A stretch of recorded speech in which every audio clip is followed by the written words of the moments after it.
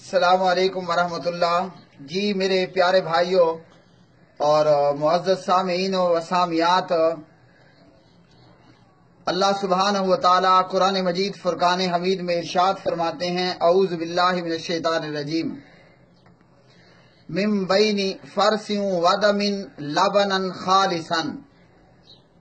گوبر اور خون کے بیچ میں خالص دودھ۔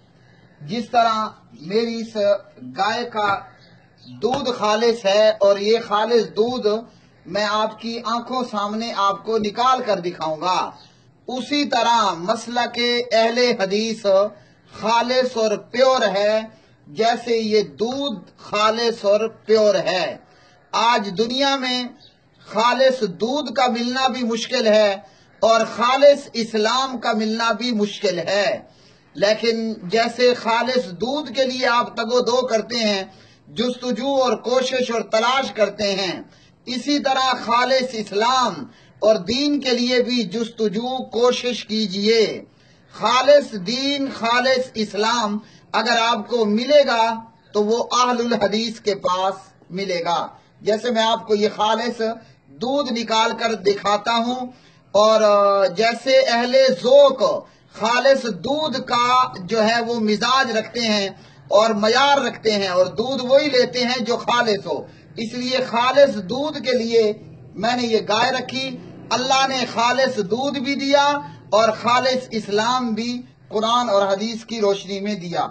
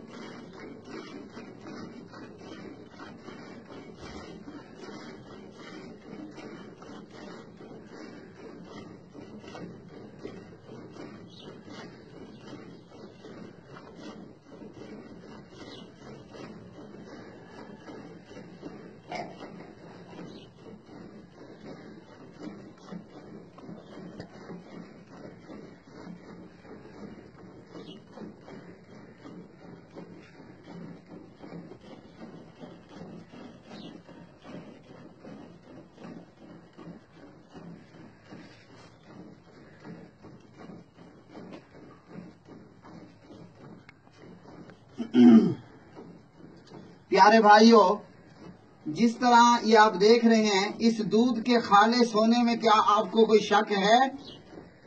یہ دودھ بالکل پیور اور خالص ہے۔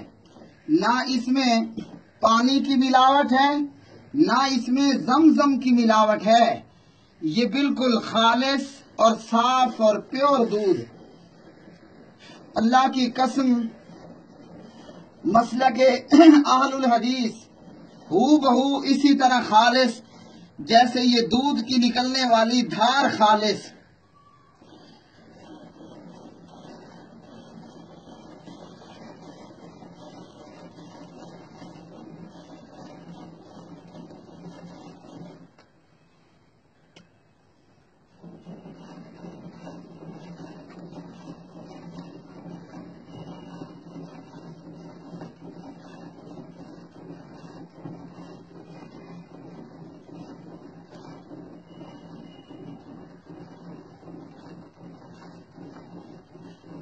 اور یہ اپنے اپنے نصیب اور مقدر کی بات کہ قسمت والوں کو آج کے دور میں خالص دودھ ملتا ہے۔ وگرنہ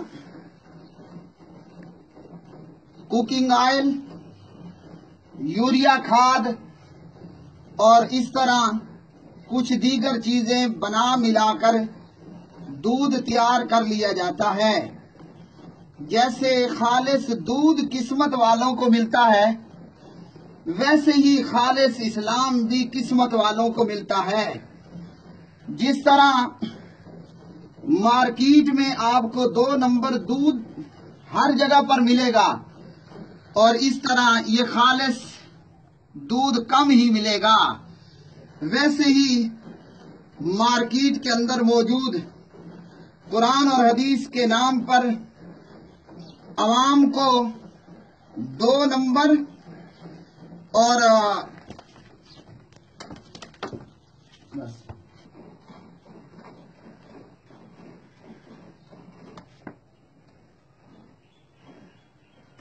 قرآن اور حدیث کے نام پر عوام کو کچھ اور بتایا اور پیش کیا جا رہا ہوتا ہے۔ اللہ سبحانہ و تعالی ہمیں خالص دودھ بھی دے اور خالص اسلام، قرآن و حدیث بھی اختیار کرنے کی توفیق دے۔